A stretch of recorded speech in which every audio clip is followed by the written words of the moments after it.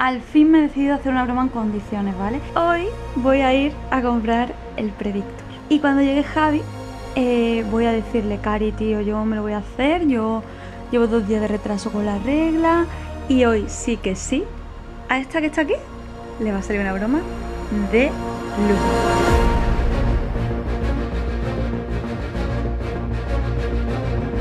¿Qué?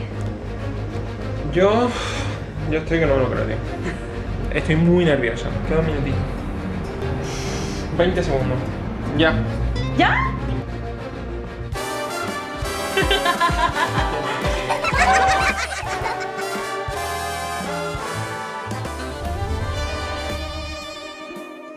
La primera idea que os vamos a contar es para comunicar el embarazo a los más pequeños de la casa. Lo que tenéis que hacer es utilizar una botella de agua, un poquito de arena, que puede ser pues, arena de colores para decorar o simplemente arena de la playa. Y lo que hacéis eh, es meter una ecografía enrollada dentro de la botella y luego la rellenáis de arena. Es muy fácil, es muy sencillo y creo que puede ser muy divertido para los más pequeños. Para la siguiente idea necesitaríais una taza de pizarra. Y escribir un mensajito personalizado para cada uno. Por ejemplo, para el futuro mejor abuelo del mundo. O para el futuro mejor tito de la familia. Para esta idea solo necesitamos una prenda de ropa para el futuro. Ah. ¿Se ha despertado? Venga, voy por allá. Aquí estoy. Y la siguiente idea, la que os estaba contando, era esa, la de comprar una prenda de ropa que haga alusión a los abuelos y así de esa manera pues se dan cuenta, se llevan la sorpresa de que van a tener un futuro nieto o nieta. Una revista personalizada. Una comida en familia, un domingo en el que estéis todos reunidos, podéis aprovechar y dejar la revista como quien no quiere la cosa sin que nadie se dé cuenta por el salón de vuestra casa o en la mesa donde se vaya a comer. Y así que todo se descubra como por sorpresa, a ver quién es el primero que mete el grito, ¿no? Y para decirle la noticia a los amigos utilizaríamos un medio así un poquito más actual, como puede ser eh, mandar un mensaje por móvil o por mail.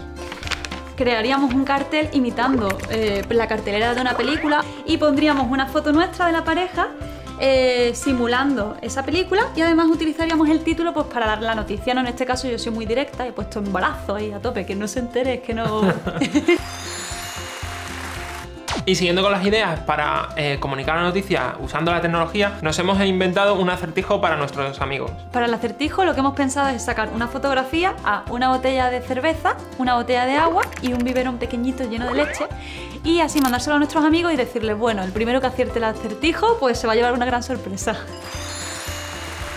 Una idea más sería hacer un montaje de fotos y en mi caso pondría papá y mi fecha de nacimiento y yo en mi caso pondría mamá y mi fecha de nacimiento, Gala, ¿no? Le daríamos también la pizarrita para que pusiese pues eso su nombre y la fecha de cuando nació. Lo pondríamos nosotros. Lo pondríamos nosotros. bueno, lo pondría ella, según cuando venga. La siguiente y última foto sería ya para dar la noticia, ¿no? Exacto. Que sería con la barriguita y la fecha probable de parto.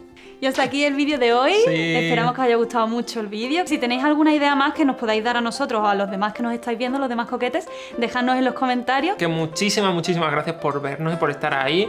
Por suscribiros al canal de Bebé a Bordo y nos vemos pronto. ¡Chaito! Adiós.